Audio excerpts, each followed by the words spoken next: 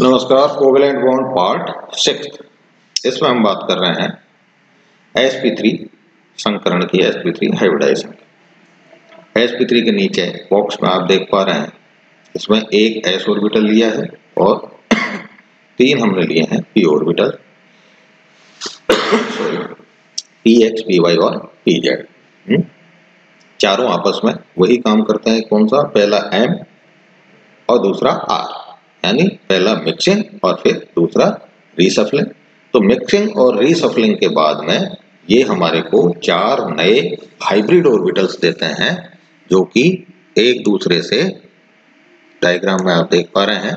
इसको मैं और बड़ा कर देता हूँ। आप देखिए डायग्राम में sp3 हाइब्रिड ऑर्बिटल्स हैं और इनके बीच का जो बॉन्ड एंगल है, वो होता है 109 डिग्री 28 मिनट।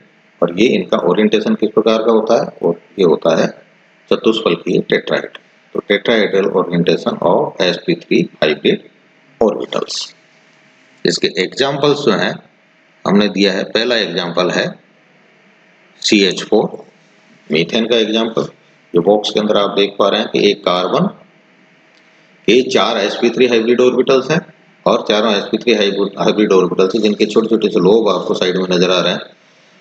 इनसे चार हाइड्रोजन के एस ऑर्बिटल संयुक्त होते हैं और 109 डिग्री अट्ठाईस मिनट एंगल बरकरार रखते हुए CH4 का टेट्राहेड्रल स्ट्रक्चर देते हैं। अब देखिए आप बॉक्स में एंगल दिया हुआ है 109 डिग्री अट्ठाईस मिनट और जो इसका स्ट्रक्चरल डायग्राम बना हुआ है बोल्स के द्वारा, उसमें दिया हुआ है एक सौ यानी मॉडल जो बना हुआ है, उसमें दिया हुआ है 109 डिग्री पॉइंट 109.5 डिग्री। यही अंतर मैंने पिछली स्लाइड में आपको, हाथ से लिखा हुआ मैंने आपको बताया था कि एक या तो लिखिए आप 109 डिग्री 28 मिनट, या फिर लिखिए 109.5 डिग्री। न कि 109.5 मिनट लिख देंगे तो गलत हो जाएगा, और 109.28 डिग्री लिख देंगे तो गलत हो जाएगा। ठीक है? ये CH4 का एग्ज़ाम्पल CH4 के बाद में आप एग्ज़ाम्पल देख पाएँगे। अमोनिया का।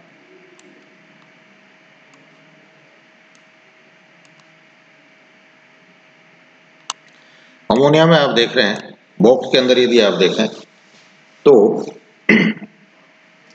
दो पी ऑर्बिटल्स हैं, जिसमें तीन इलेक्ट्रॉन्स हैं, और 2s के अंदर दो इलेक्ट्रॉन्स हैं, यानी नाइट्रोजन का के पास में एक लोन ऑफ़ इलेक्ट्रॉन उपस्थित है। ठीक है? इससे हमें अगले स्टेप में आप देखें राइट हैंड साइड में तो चार हमें sp3 हाइब्रिड ऑर्बिटल्स मिलते हैं, जिनमें एक lone pair of electron situated है और तीन अनपेड इलेक्ट्रॉन सिचुएटेड है। अब आप देखें आपको क्लियर नज़र आएगा।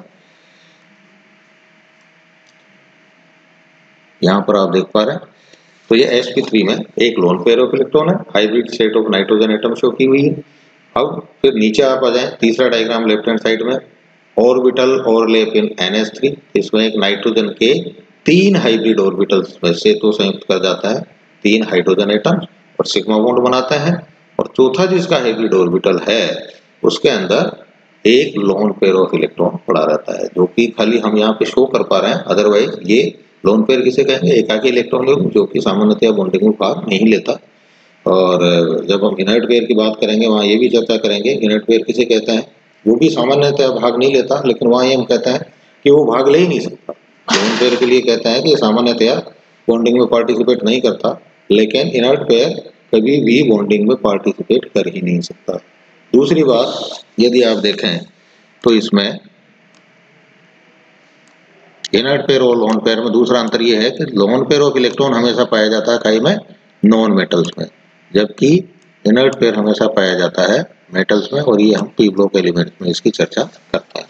तो यहाँ पे उसका मॉड्यूलर डायग्राम आप देख पा रहे हैं अमोनिया का।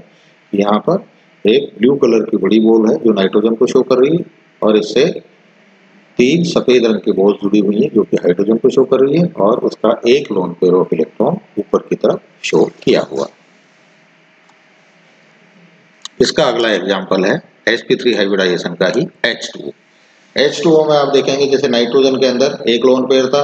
H2O में ऑक्सीजन का जब आप देखेंगे ग्राउंड स्टेट तो इसका कॉन्फ़िगरेशन होता है 2s2 2p4 यानी एस में भी दो इलेक्ट्रॉन हैं और पी में चार इलेक्ट्रॉन है, उनमें से एक पेयर के रूप में है और दो अनपेड इलेक्ट्रॉन्स हैं।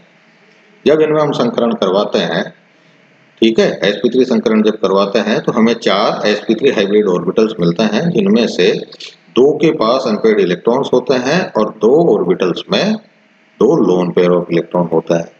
अब आप नीचे लेफ़्ट हैंड साइड वाले डायग्राम में देखें तो यहाँ पर आपको दिखाई दे रहा है ऑर्बिटल और लेकिन H2 तो यहाँ पर ऑक्सीजन का बीच में ऑक्सीजन है और इसके दो हाइब्रिड ऑर्बिटल से दो sp3 हाइब्रिड ऑर्बिटल से तो संयुक्त होते हैं कौन? दो हाइड्रोजन एटम और दो लोन पेयर ऑफ़ इलेक्ट्रॉन इसमें पड़े रहता है। इस कारण से इसका जो बॉन्ड एंगल है, वो घट करके कितना हो जाता है? वो घट करके हो जाता है, जो यहाँ पर दे रखा है हमने 104.5 डिग्री है, लगभग 105 डिग्री के आसपास। और सेफ़ हो जाता है इसका कैसा? उल्टा वी मान लें या आप इसको बोल दें बेंट से। ठीक है? इसी प्रकार से पहले जो अमोनिया था सी एच फोर के अंदर बॉन्ड एंगल था एक सौ नौ डिग्री अट्ठाईस मिनट। अमोनिया के अंदर इसका जो शेप है, कैसा हो जाता है? शेप हो जाता है इसका पिरामिडल और इसका जो बॉन्ड एंगल है, वो कितना हो जाता है? वो हो जाता है 107 डिग्री। यानी स्टार्ट किया था हमने 109 डिग्री। 109 degree 28 minute. एक लोन पेयर की वजह से कम होकर के हो गया 107 डिग्री। इसके बाद में एक और लोन पेयर आ गया, दो लोन पेयर आ गए तो ये हो गया लगभग 105 डिग्री या 104.5 डिग्री। शेप बिगड़ करके इसका कैसा हो गया? वी शेप या बैंड शेप और अगला जो एग्ज़ाम्पल है, वो है इसका एच एच हाइब्रिडाइजेशन का, जिसमें फ्लोरीन का विन्यास आप देख पा रहे हैं। Two S two two P five होता है, यानी इसके पास में तीन लोन पेयर ऑफ़ इलेक्ट्रॉन है। तो तीन हाइब्रिड ऑर्बिटल में तो रहेंगे लोन पेयर ऑफ़ इलेक्ट्रॉन और एक sp3 हाइब्रिड ऑर्बिटल से हाइड्रोजन संयुक्त होकर के बनाएगा सिग्मा बॉन्ड तो इसका शेप होगा लीनियर और लीनियर शेप होने की वजह से इसका बॉन्ड एंगल कितना हो जाता है? इसका बॉन्ड एंगल हो जाता है 180 डिग्री।